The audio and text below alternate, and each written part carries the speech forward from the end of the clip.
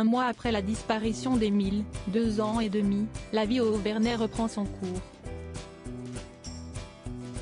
Des habitants confessent être passés à autre chose. Un mois pile que le petit garçon, Émile, deux ans et demi, a disparu dans le Haut-Vernay, alors gardé par ses grands-parents maternels en ce début d'été. Oui de l'enquête après un mois de recherche, de fouilles et de témoignages passés au peigne fin Les fouilles de grandes ampleurs n'ont rien donné, et toutes les pistes sont encore envisagées. La famille du garçonnet disparu vient de se porter partie civile pour être informée de toutes les avancées de l'affaire par la justice. Et alors que CNU a recueilli les impressions de François Bali, maire du Haut-Vernay, hameau dans lequel Émile a été vu pour la dernière fois, la vie dans ce lieu mis sous le feu des projecteurs depuis le drame, elle, a repris son cours.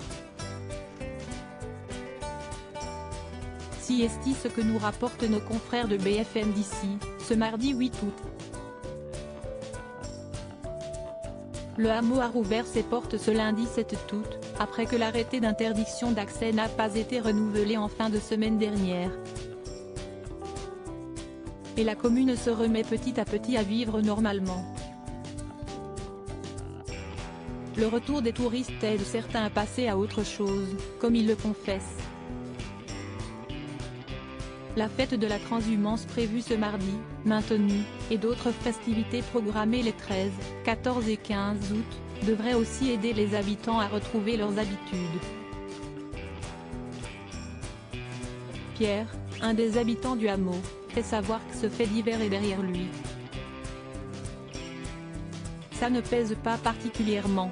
La vie a repris, si est-il été, les touristes sont là, ils jouent au boule.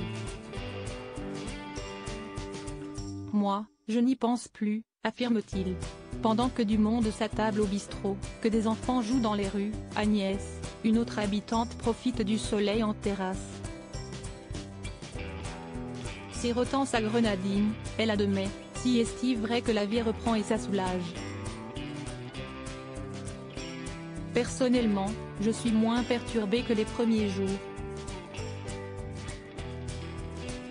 Elle reconnaît néanmoins que la disparition d'Émile est un sujet très vite évoqué entre les habitants du hameau du Haut-Vernay. Si est sûr que j'y pense toujours.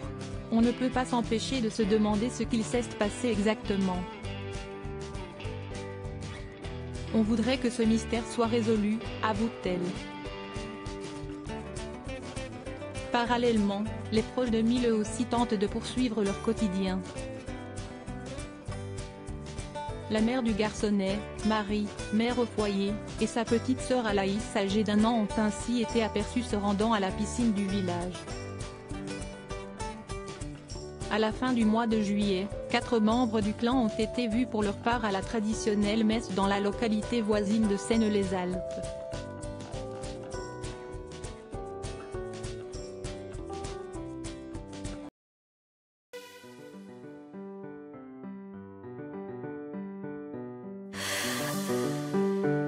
나